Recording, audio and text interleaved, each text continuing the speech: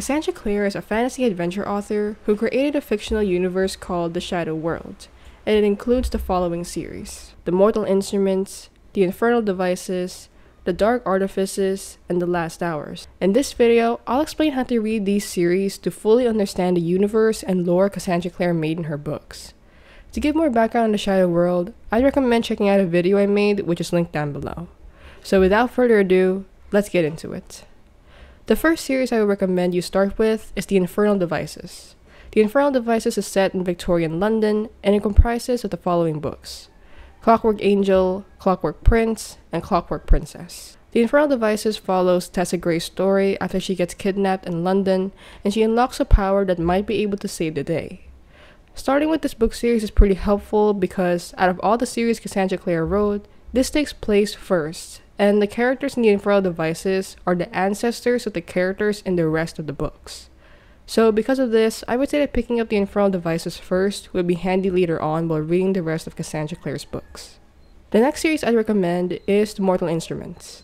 The Mortal Instruments takes place in New York during the early 2000s, which means it's centuries after the Infernal Devices. It centers around the adventures of Clary Fray, an average 16 year old girl who witnesses a murder. What's weird about this murder is that nobody but her saw it. Through a series of events, she discovers the Shadow World and she teams up with Shadow Hunters to fight against Valentine Morgenstern, the main villain. After the Mortal Instruments, I suggest you read The Dark Artifices. The Dark Artifices happens in Los Angeles approximately around 2012, meaning a couple of years after the Mortal Instruments. It composes of Lady Midnight, Lord of Shadows, and Queen of Air and Darkness. It talks about Emma Carstairs, a shadow hunter who lost her parents in the Dark War that took place in the Mortal Instruments series.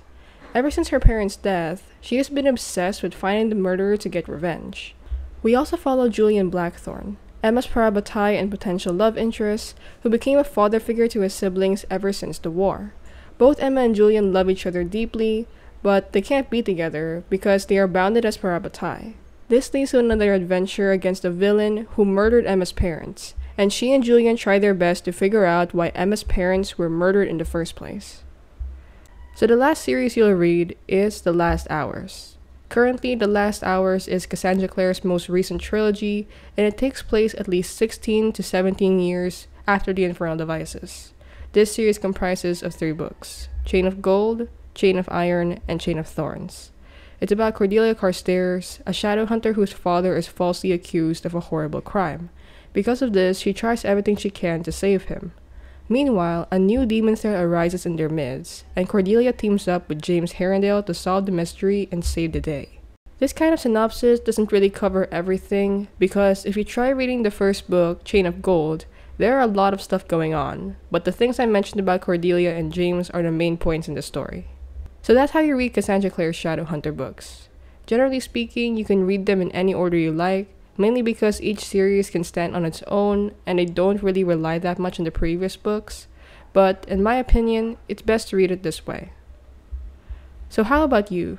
What's your favorite Shadowhunter series? Let me know in the comments down below.